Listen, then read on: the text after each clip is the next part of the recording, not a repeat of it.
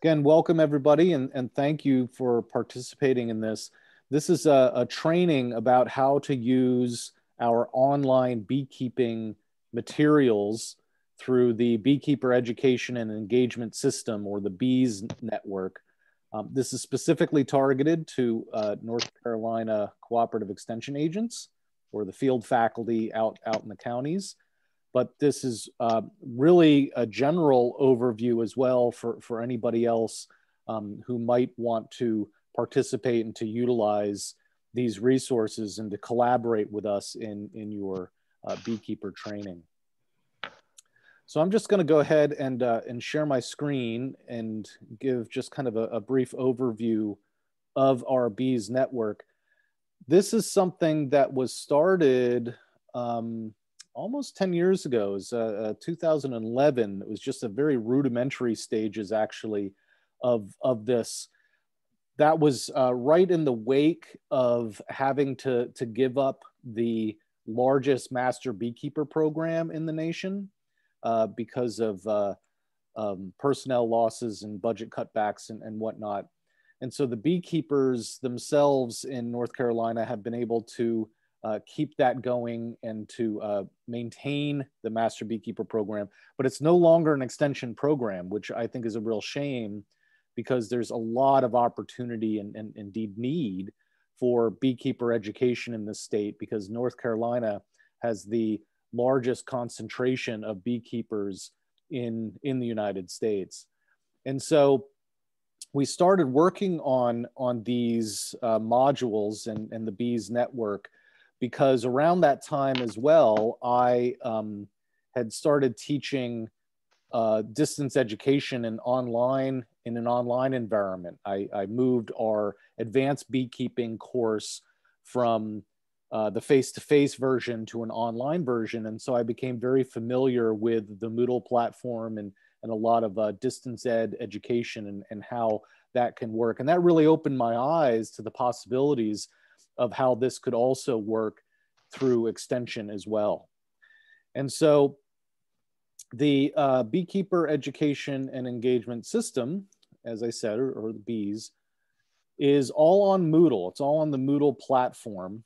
Uh, and I don't know how familiar uh, most of us are with Moodle, but I think a lot of the either mandatory or optional trainings that uh, we are in cooperative extension are um, obligated to do. A lot of times those are done through uh, Moodle as well. So you're probably fairly familiar with it and it's, it's fairly friendly as well. And so um, there's the, the Delta, the distance education branch of uh, NC State University, kind of co-opted about uh, five, six years ago. They created a, uh, a new um, or they, they, they developed a server specifically for outreach and non-credit, non-NC State credit courses. And so this is where all of these, uh, these mini courses and, and training opportunities are, are held. And the way that it's set up is that the courses are all asynchronous. That is, uh, I and our team in the NC State Apiculture program have developed and, and shot videos, training videos on all sorts of different topics. Uh, and they're posted on each in these individual online courses. And so the user can just come in and very, very readily and easily, you know, click on these videos and watch a lecture from me uh, and go back, watch it again, move around. Uh, there's no live interaction, uh, but it's all something that they can do on their own at their own pace and at their own time. Um, they can get 30 day unlimited access through the reporter mechanism. That's again uh, another online tool for uh, credit card payments and whatnot.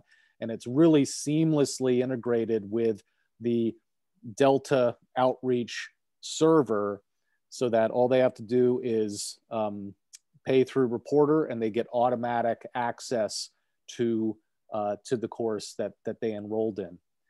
Um, that 30 day time limit doesn't start until they actually enter the course for the very first time. So theoretically, somebody uh, can, can register and pay for it and then wait any uh, a period of time before they actually take it.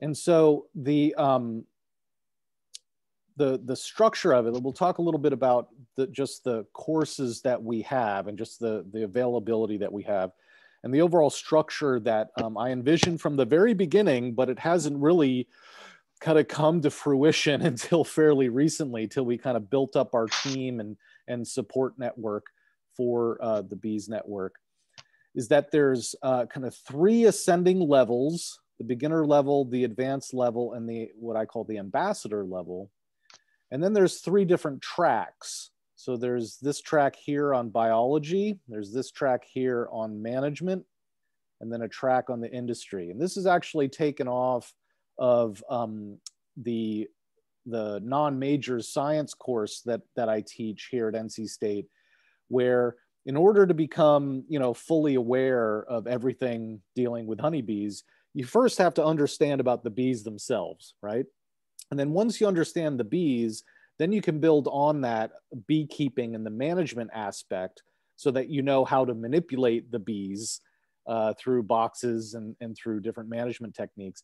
And then once you understand the bees and beekeeping, then you can talk about the industry overall and, and different aspects of, of how bees and beekeeping influence and or, interact at the kind of the societal or the, the community level. And so we have these uh, three different tracks then at these at these three different levels. And so at the beginner level, there's actually only one course per each of these tracks. So there, this kind of beginner level is really aimed at turning a novice, a non beekeeper, and giving them enough knowledge and know how about how to start their own hives, right? Um, and collectively, between the three courses, it's something like five and a half hours of instruction. Um, and about 15 lectures or so within within each of these and so this has been a very popular thing for people who've been sitting on the fence and have always been curious about keeping bees but they don't really know you know they're kind of scared to get into it the whole idea is to kind of demystify that give them the basic know-how so that they they feel empowered to be able to go out and uh, and start their own hive and we really really encourage especially in the um, in the, the, the last course, um, to for them to link up with their local beekeeping group wherever it may be, because it's far easier to start bees while joining the beekeeping community than doing it in a vacuum.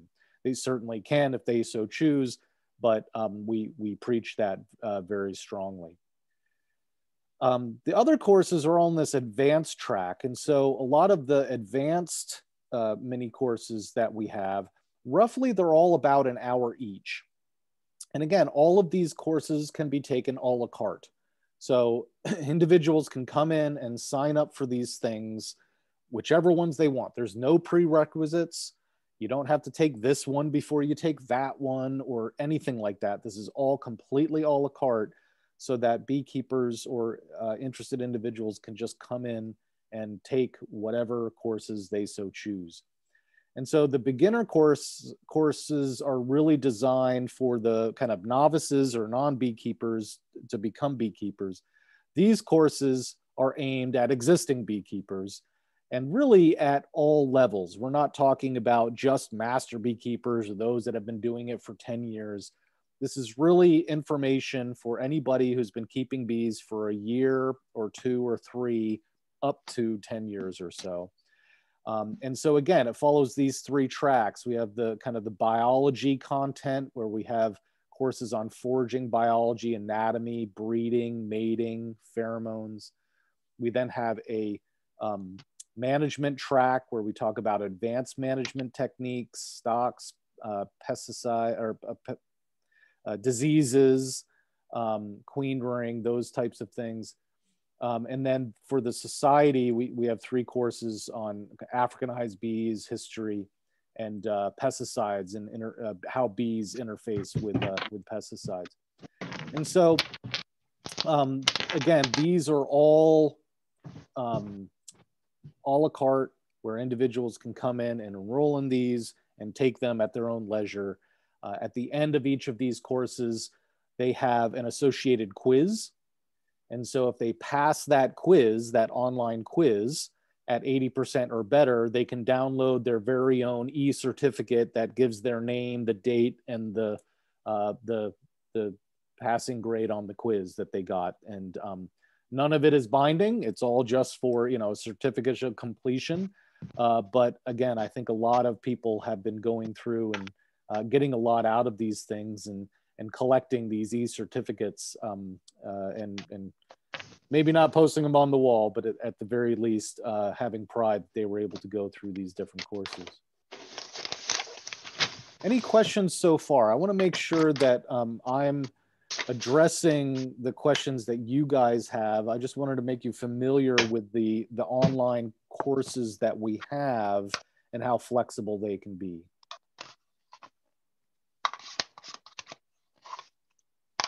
Check that website in the chat, if that's all right. Oh, I have not um, seen the uh, the website is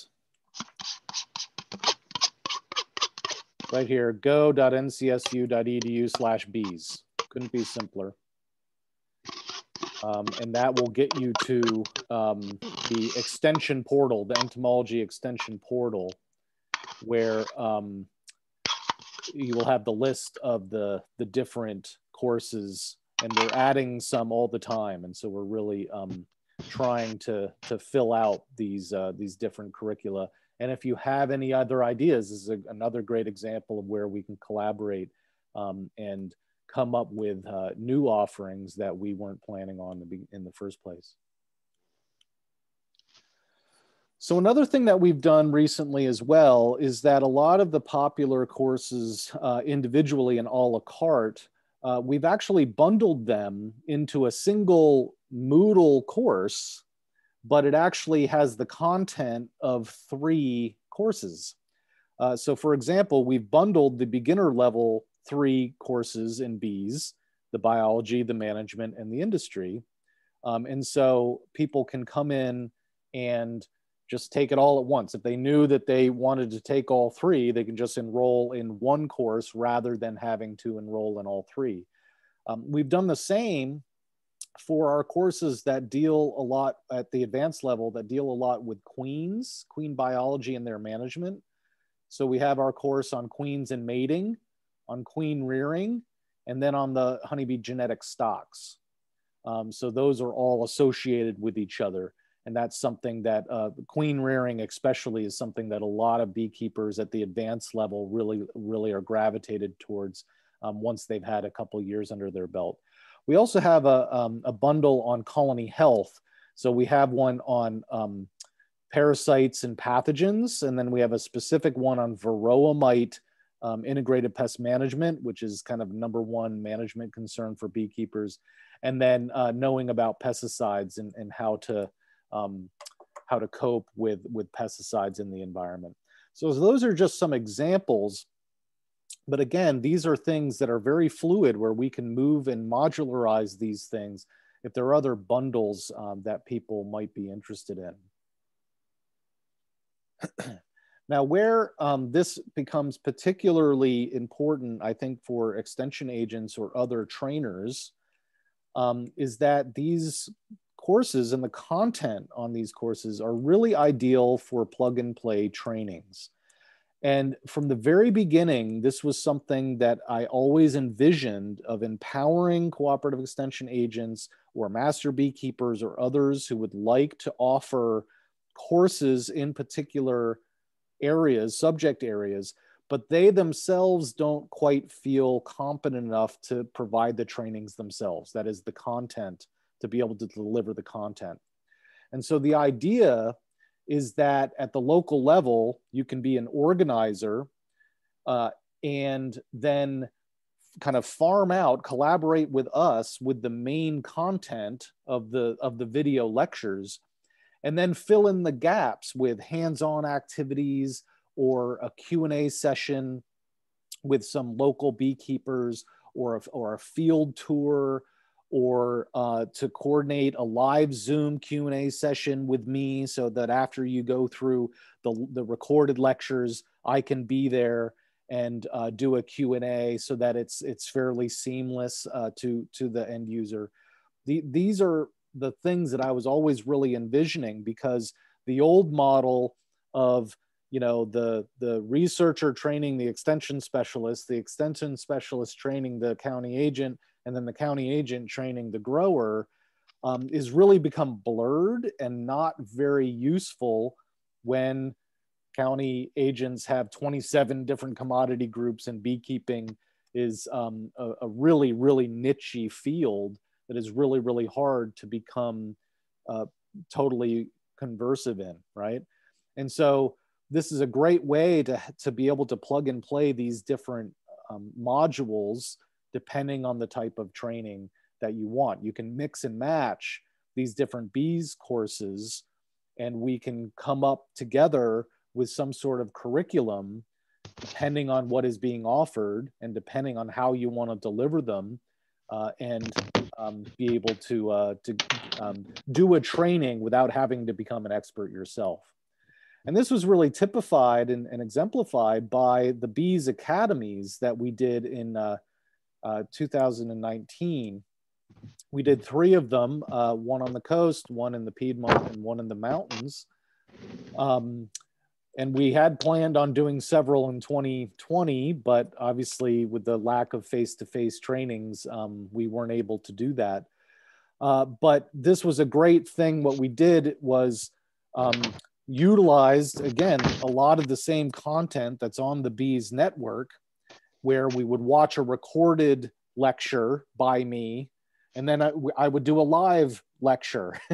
um, and then go back and forth. And so we were able to, to pull and to draw different elements from these different courses uh, and deliver them. And those in the audience didn't really know the difference of whether I was talking live or whether I was on camera. And I and then we had hands-on activities and other things to fill in the gaps, and, and I think it worked really, really well.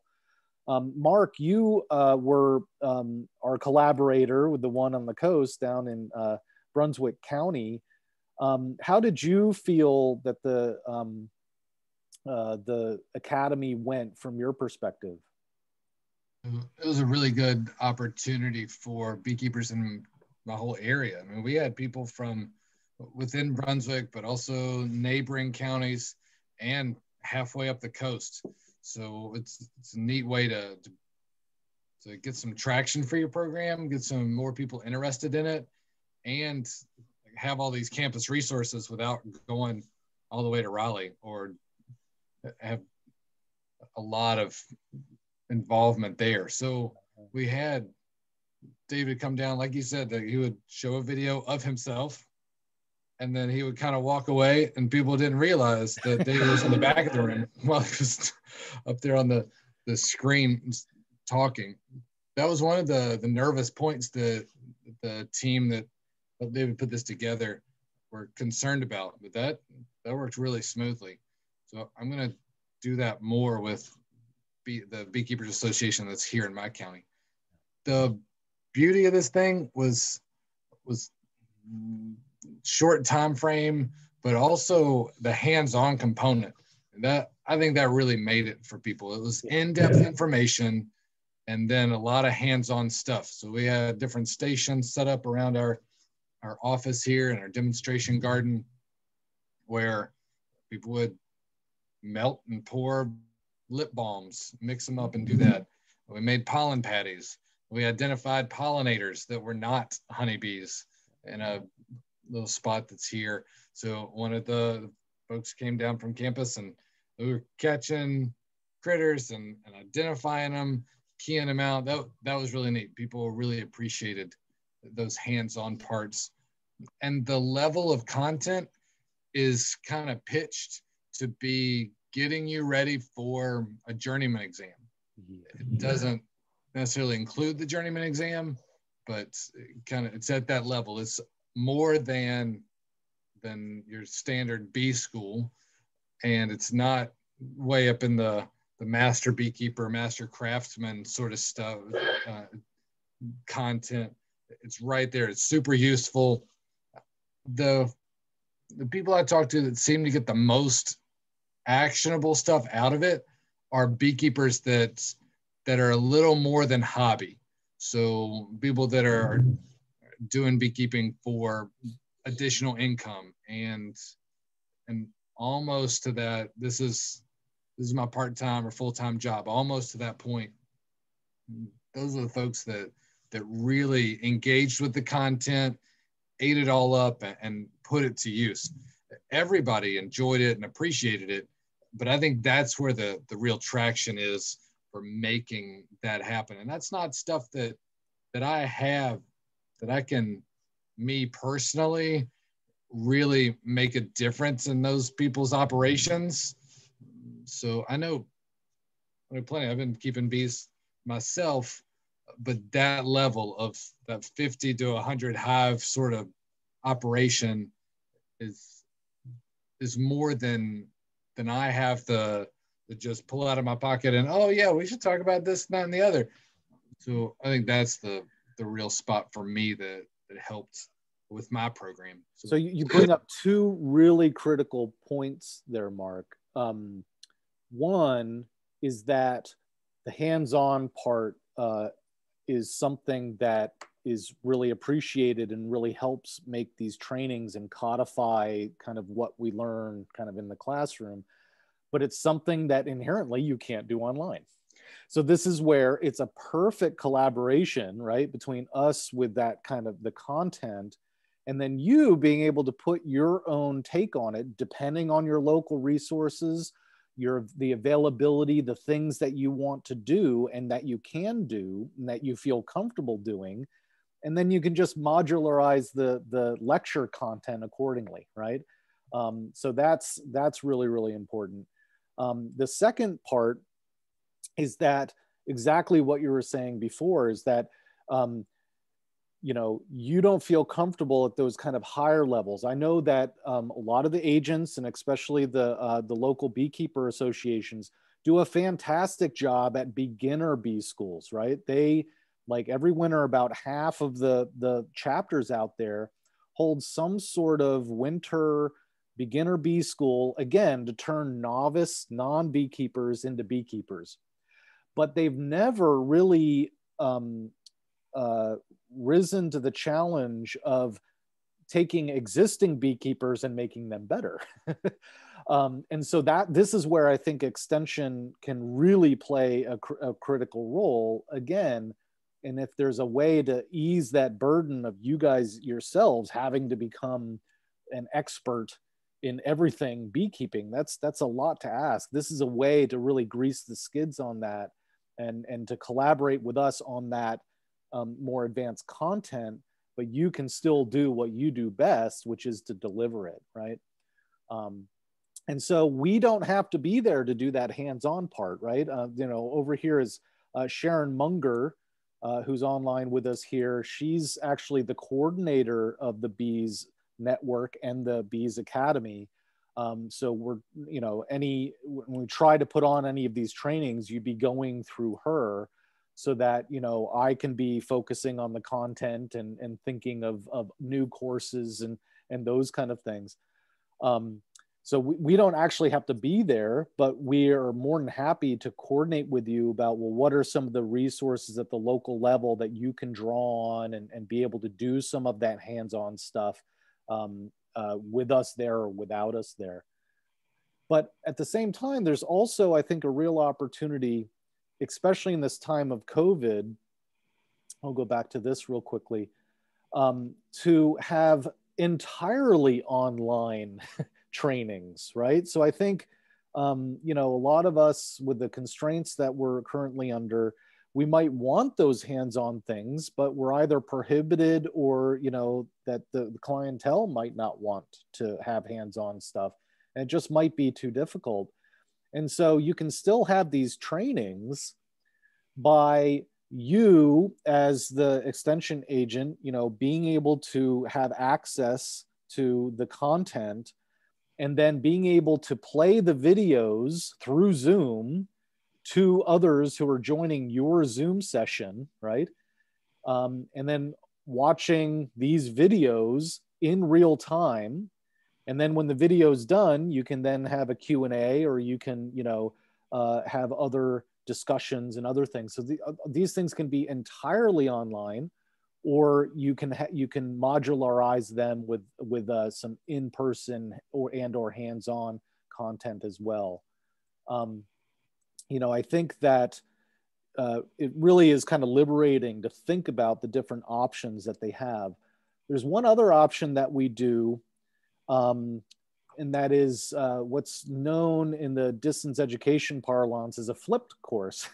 so this is something that we do um, after most of the county chapter bee schools have already run their course or they're, they're at least already underway. Again, we do in no way do we want to compete with them.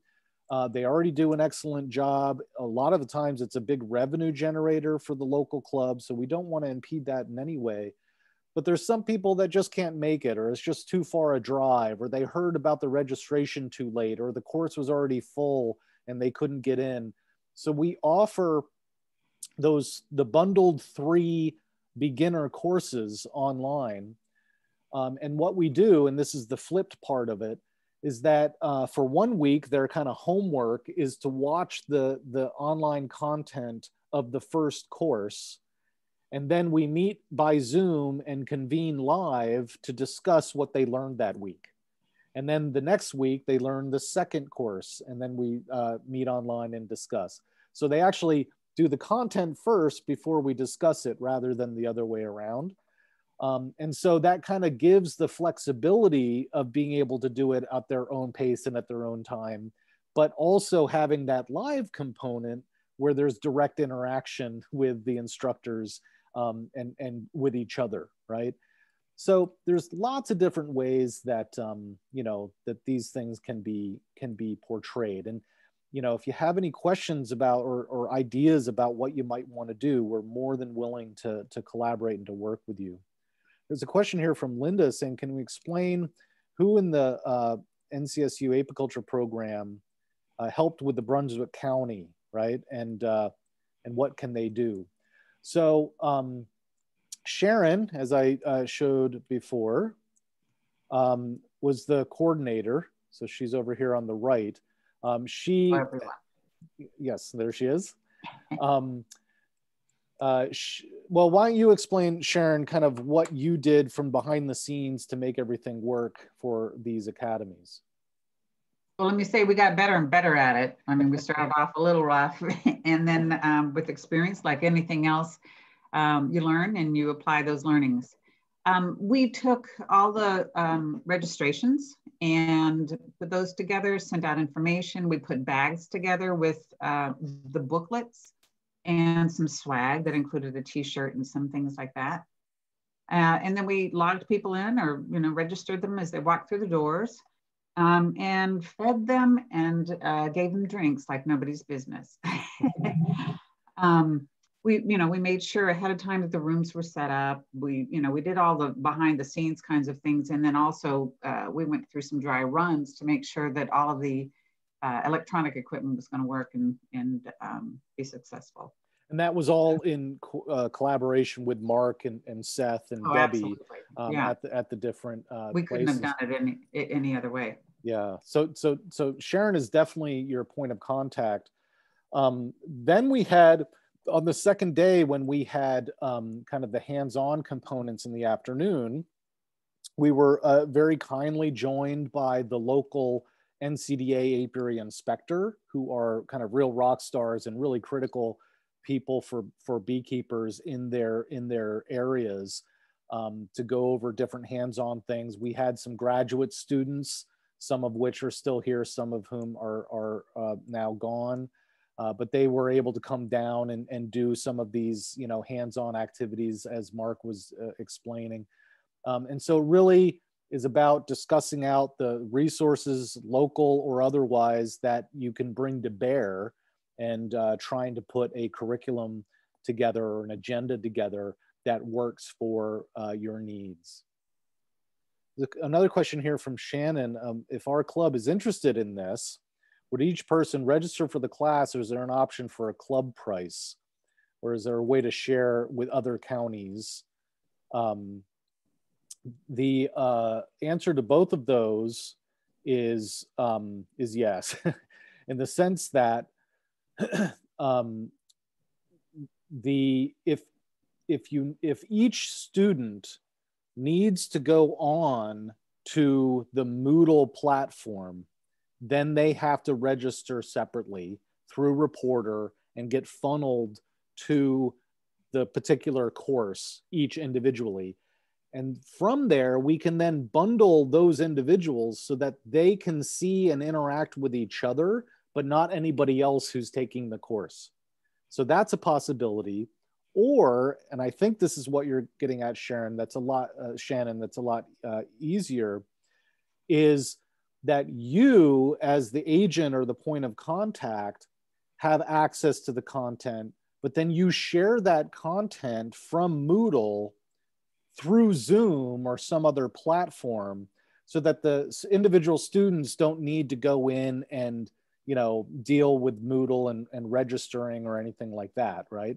So it's if you are going to be the the gateway into the Moodle platform, that's one way. Or if you're going to convene online with them, that's another way. So those are all different um, logistics that that we can work out depending on what you're looking for. But I think that's probably the easiest easiest way um, to be able to to get people involved in this. Now, I do want to mention just really quickly, there is that kind of last and top um, ambassador level. And this is where kind of the engagement part comes in of the uh, beekeeper education and engagement system. Um, and this is where we really like to collaborate with beekeepers. So this is, we don't have classes involved in this, but this is another aspect of cooperative extension where we're, at, we're literally collaborating with beekeepers to conduct these um, different trainings or different uh, ways to give back to the beekeeping community. And so in the one track, um, if those beekeepers or yourselves as an ambassador right is to put on a bee school or a workshop or a field day right that is engagement um, in that first track at the ambassador level we're also very open to write extension articles or online extension notes or otherwise um, you know talking about beekeeper and beekeeper education and then finally we're also very involved with a lot of beekeepers, both in and outside of the Master Beekeeper program, of doing research with them. Um, you know, a lot of these beekeepers are very interested. They have uh, X number of hives and they have a lot of um, uh, interests about questions about improving management. And we work with them on experimental design and data collection and statistical analyses and those kind of things for them to conduct these uh, these experiments that can then be informative to the rest of the beekeeping community. And some of these have actually been published in uh, peer-reviewed articles, uh, peer-reviewed journals. Others have been um, uh, um, published in the uh, the newsletter of the beekeepers. Uh, so there's lots of different ways to be engaged beyond just uh, these these courses. But uh, to to this point, the the online trainings I think are um, are a great way to um, to be able to to take advantage of the of the bees content. So, any other questions that I'm that I'm missing here? Any uh, impediments that you think might be difficult from from your end? Any um, other topics or courses that you think might be more useful than, than what we currently have?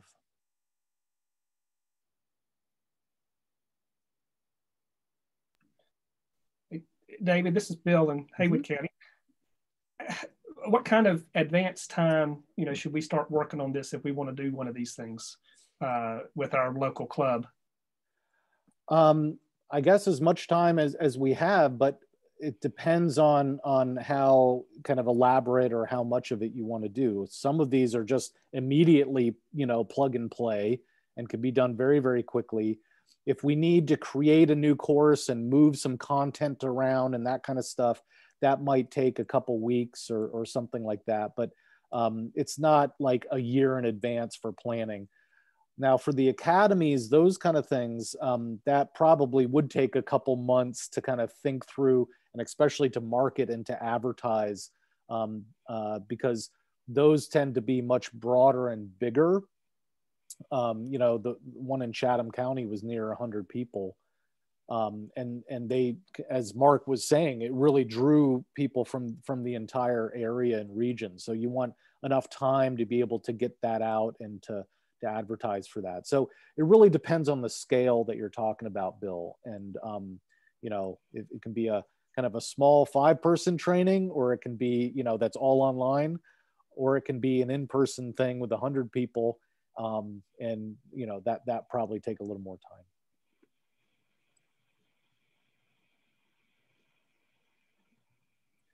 I have another question uh, for you guys about um, you know getting the word out to uh, other clubs, to other agents, um, to other beekeepers, but most importantly, how to reach the non beekeepers. this is something we really struggle with because we, in our networks, right, we're plugged in with you know cooperative extension with the the state beekeepers association their local clubs we have our own kind of newsletter and and email list but those are all existing beekeepers um, you know, any ideas about how to reach non-beekeepers or, or other individuals who might otherwise be attracted to some of these things? David, this is this is Seth in Caldwell County. Oh, hey, Seth. Hey, um, what? And I guess part of it with you know with how to communicate with non-beekeepers, what would what would you hope to gain by communicating? Is it to make them beekeepers or make them aware of bees, or what would the goal be? I think, um, in my experience, it would be that there's a, a a very large reservoir of people out there who are intrigued about beekeeping, but they're too afraid or it just seems too daunting to get into it. And so, you know, I still think, even though we have, you know, 5,000 members of our state association, there's 15,000 beekeepers in North Carolina alone, I still think there's probably a lot of other people out there who have always wanted to do this, but it just seems too much for them. Um, and they don't know about our cooperative extension networks and the, and the local bee schools and these other things. Um, and so how to reach them, I think is what I'm getting at. I, I agree. I think, I think, I think there's a lot of people out there that they just immediately like bees and they want to know a little bit more about it. And uh, I, I just wasn't sure exactly what, what slant you were taking with connecting with non-beekeepers, but I, I think, I think there's a large, there's a large group of uh, either armchair beekeepers or something, uh, people that are just interested right um, I, I, know that we publish, uh, we send to the paper a weekly article, news article. Okay. And um, that may be something that, that could be pushed out. Um, if, if you were, if you wanted to put together a news article on that. Sure. Um, and certainly I think our master gardeners, um, you know, we've got folks that are planting pollinator gardens and, and are trying to create bee habitat. And I think they might they might be interested. Um, they're they're extension clients, but they're not they're not in the B program. Right, right. Uh, those are great great suggestions, Seth. I, would be happy to uh, to work with you in writing up kind of a local um, uh, kind of newspaper column. I don't know how the, the size or the level or any of that, so I could really use your, your help on that. But if we have something like that, then we could share amongst ourselves if others want to disseminate in the same way. I think that's really excellent. Yeah, I'll, I'll get some. I'll get some parameters to you. Pretty much, uh, the newspaper's always been very nice. Uh, whatever we send them, they, we we try to keep it a page and a half or two pages, but right, uh, but right. they they're very gracious. But I, yeah, I'll I'll touch base with you, and I and I think I'll probably ask some of our master gardeners uh, that, that are interested in pollinator habitats and and and, just are I, I call them bee friendly people maybe. Mm-hmm. Um, just ask them, maybe get some feedback and share that with you, David. Yeah, no, that'll be great. Sharon also makes a good point here about um, that this can also be useful for 4-H 4-Hers. It's not um, specifically designed for um, youth beekeepers, but it's not unattainable to them either, right? So I think um, you know it's kind of a one size fits all for all all beekeepers at these at, at these different levels, but it's certainly something that could be very well incorporated into um, 4-H training, especially um, kind of in high school level or so. Um, and then again filling in the gaps with other age appropriate activities or discussions or, or things like things like that. And so i think um, there's there's lots of different ways that um, that these can be that the content can be utilized. And i would say like you know there's all their other groups and institutions too looking. So like here in greenville the city of greenville as well as ecu are trying to become bee friendly become a bee friendly campus. And so they're they're trying to put in both pollinator borders and such around the county buildings. And then on campus, they've actually put in some rooftop beehives um, and all as well as trying to encourage other pollinator plants and things. And they're always looking for kind of stuff to share with their students. Yeah. You know, hey, we're putting in this pollinator garden, you know, share some facts in their kind of yeah. Yeah. campus pub- publicity stuff they're doing for their for their pollinator projects they're trying to put in as well. So that's actually um, a really, really good point in the sense that that is kind of a glaring hole in the content that we have right now. All of the courses and content that we have is all about beekeeping of honeybee, managed honeybees, right? But those issues would fit really, really well in that um, kind of society track at the advanced level, talking about other pollinators talking about uh, pollinator habitat, which not just helps honeybees, but all bees, right? And just knowing that not all honeybee, not all bees are honeybees, right? That's a that's a big misconception that's out there, and so um, that that could go um, in any number of directions. Now, my professional failing is not knowing my bee plants. You know, I know I know bees. I don't know the plants, um, but there's so much um, expertise and experience in horticulture, both in the counties and on campus, that I'm sure we could come up with a really excellent, even kind of mini module of, you know, bee bee friendly plantings in in different ways. And I know some of these things are already going on, and so it'd be a great way to capture that, um, and again, put it online so that it's modularized and can be used in this flexible way.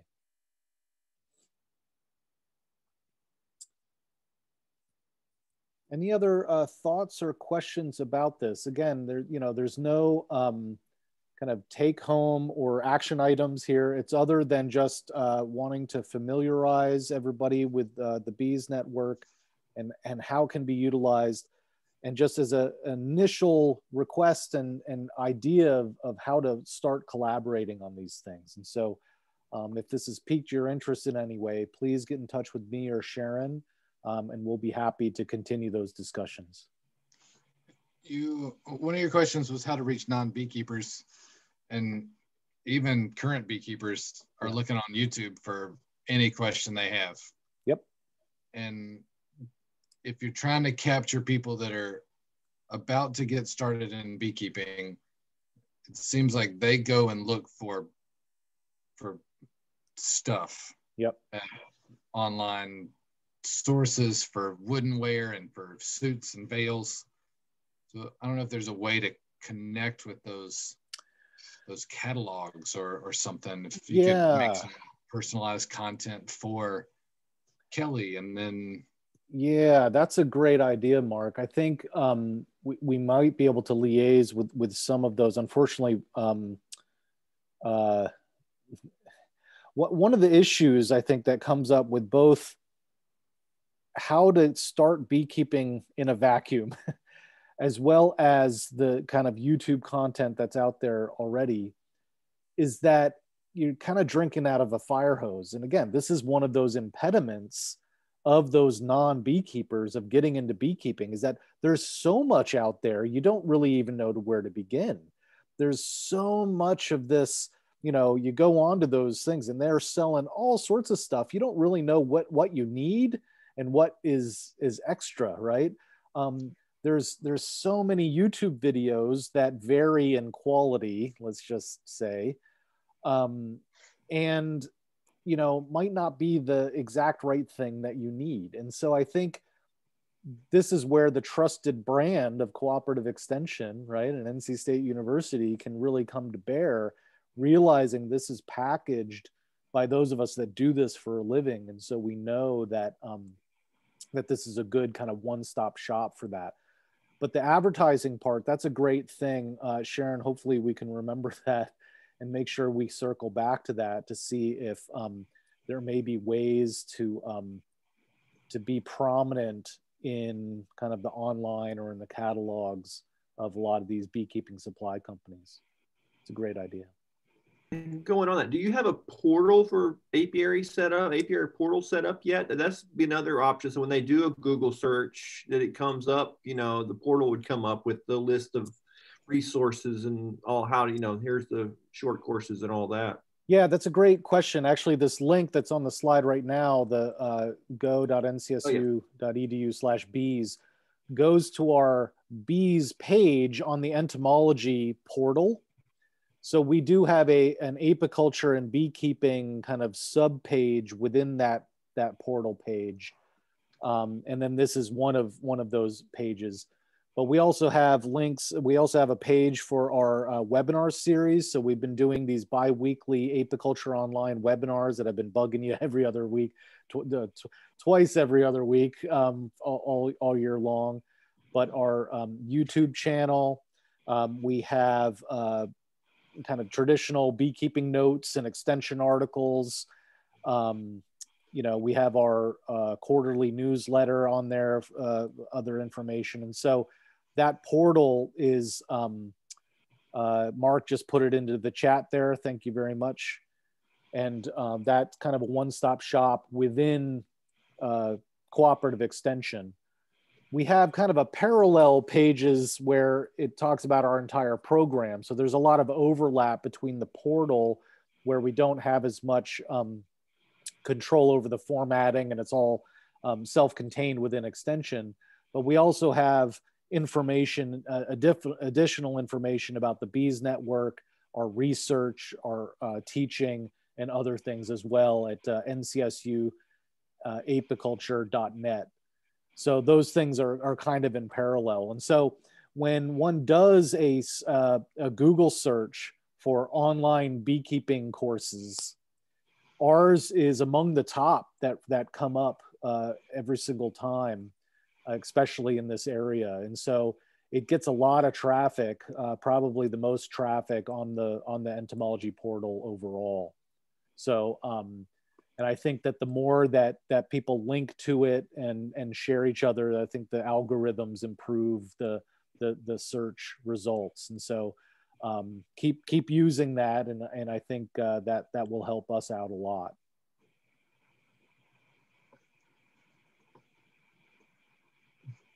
So I would like to say that David Shop does things a little differently.